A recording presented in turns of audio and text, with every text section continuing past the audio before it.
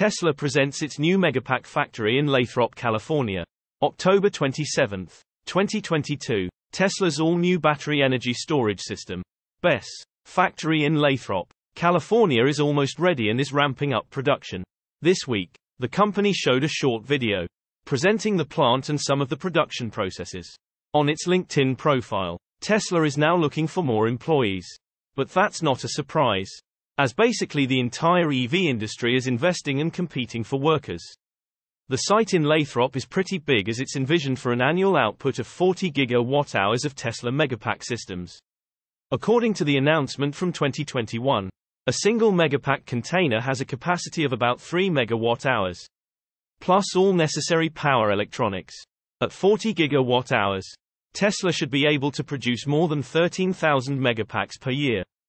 That's an order of magnitude increase compared to its 2021 output. With the new manufacturing facility, Tesla's energy business is now expected to quickly expand. The company recently set a new quarterly record of 2.1 gigawatt hours of battery energy storage system deployment all types. Once the Lathrop plant is completed, more than 10 gigawatt hours to be installed per quarter.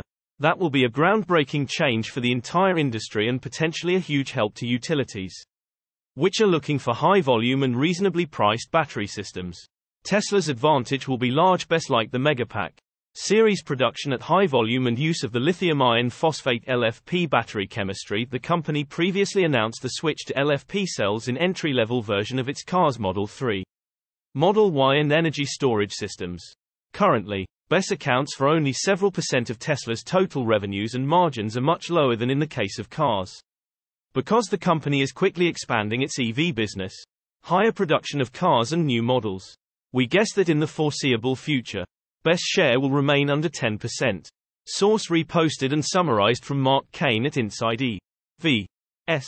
Might take not a moment too soon. We need more battery production capacity.